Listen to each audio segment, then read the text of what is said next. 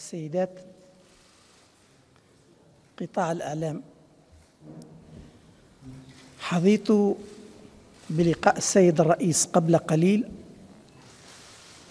الذي كلفني رسميا بتشكيل الحكومة الجديدة وفقا للقانون المنظم للسلط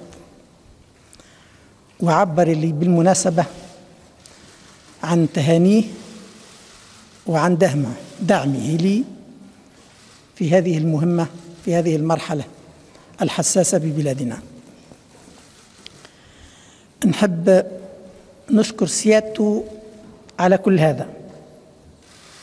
ونحب نستغل الفرصة باش نشكر أيضا الأخ رئيس الحكومة حمادي جبالي على كل الخدمات اللي قدمها واللي ما زال يقدمها على رأس الحكومة اللي ما زالت مستمرة. وعلى تحليه بروح عالية من المسؤولية والديمقراطية.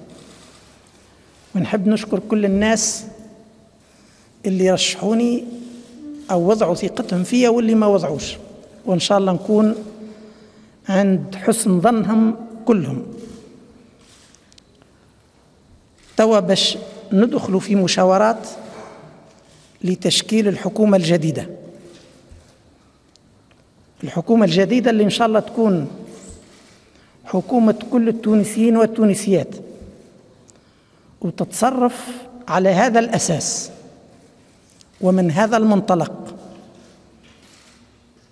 باعتبارهم كلهم متساوون في الحقوق وفي الواجبات نساء ورجالا.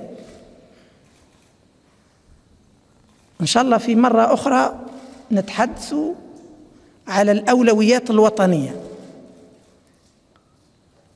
في كل الأحوال بلادنا في هالمرحلة هذه محتاجة الجهود الجميع جهود الرئاسة وجهود التأسيس وجهود الحكومة وجهود الأحزاب والمنظمات. جهود الجميع حتى تتمكن من الاستقرار ومن النماء ومن إرساء الديمقراطية المنشودة.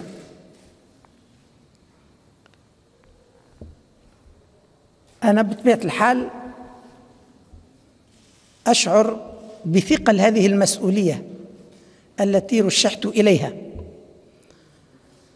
وآمل أنه كما يقول التوانسه نلقى القبول عند التونسيين والتونسيات عند الأحزاب والمنظمات عند العمال وأصحاب المؤسسات عند رجال الإعلام ورجال الثقافة ورجال الفن ورجال الوعظ والإرشاد وسائر المواطنين. وإن شاء الله التوانسة الكل يكونوا ملتفين حول أهداف الثورة وحول مؤسسات الدولة. شكرا لكم والسلام عليكم ورحمة الله تعالى وبركاته.